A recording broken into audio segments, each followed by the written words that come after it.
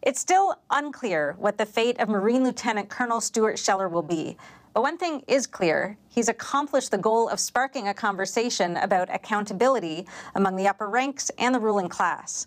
On August 26, hours after a suicide bomber outside the Kabul airport killed 13 American service members and 150 Afghan civilians, Lieutenant Colonel Scheller posted a video on social media demanding accountability from his military leadership.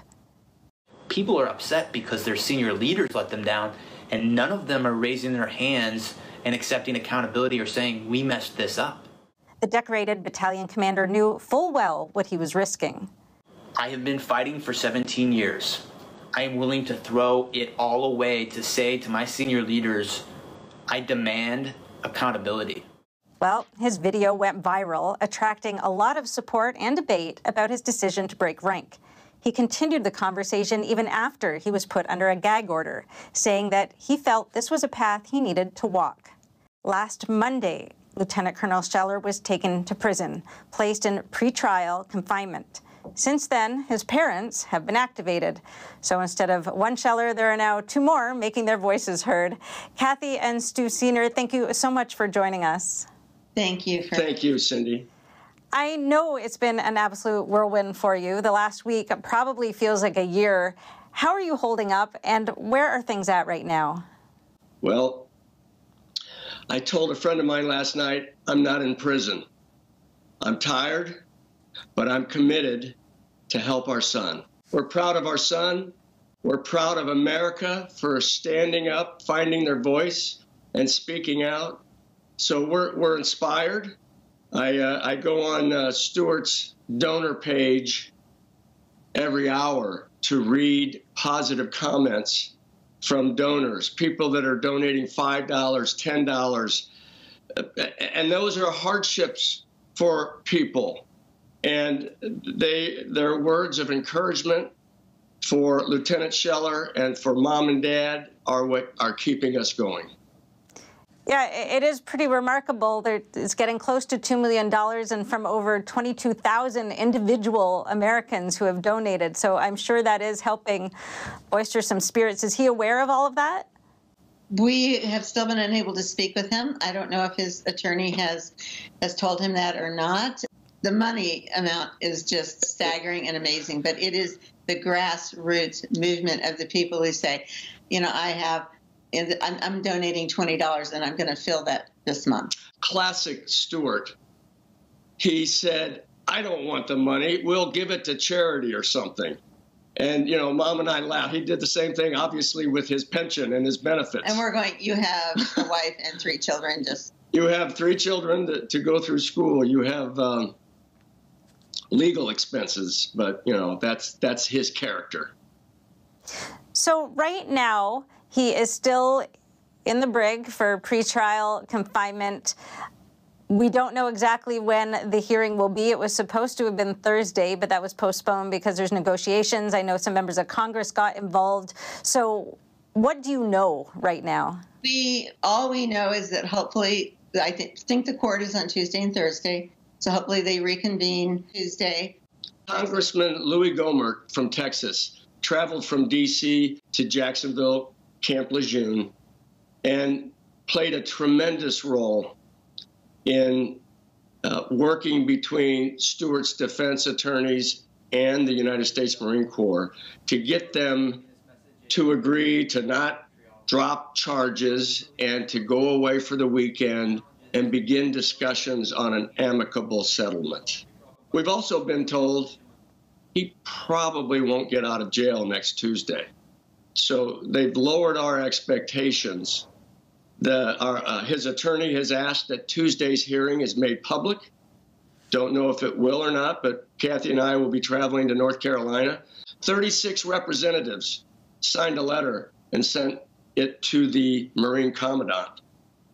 I'm asking Americans ask your congressman and senator is their name on that letter and did they sign? Let, let me ask you this. So he knew when he was making those videos that there'd be consequences, that he was breaking, breaking rank, and he explained, you know, why he felt from his conscience that it was necessary to do that. So, what are you asking people to get behind?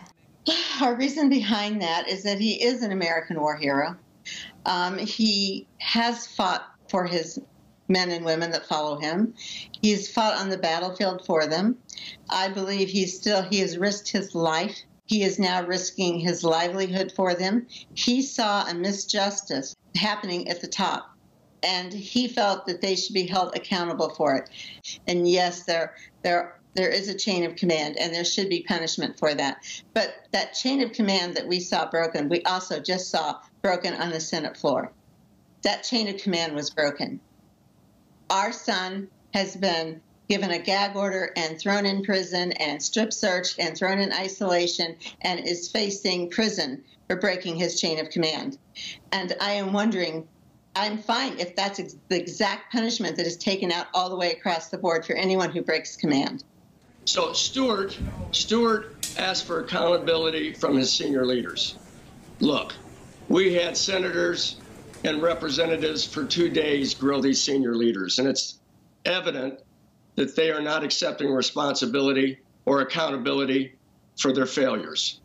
One of the things that struck me in his videos was this. He said, Accepting accountability would do more for service members in PTSD and struggling with purpose than any other transparent piece of paper or message. It seems to me that this is really, you know, what was behind it, what was motivating him. Absolutely, and that is my sweet spot right there, because so many of our military members, we've had 7,000, over 7,000 troops die within the last 20-year war, and depending on how the data is juggled, we have somewhere between 30,000 and 100,000 service members have committed suicide. Those are staggering numbers. And I want people to think of that. Somewhere up to 100,000 of our service people have been mistreated or misdiagnosed or not helped by our military. They should be able to recognize these signs. They should be able to come forward and instead of reprimanding or shaming or pressuring, pressuring them, they should be able to reach out and we should have something set in place to help these people. And he, our son Stuart works a lot with organizations to stop and help soldiers and military people with PTSD. He does work through a hero organization. He has a 50 acre farm out in North Carolina where they have people come and, and talk and, and gather and, and support each other um, across all ranks and, and all branches.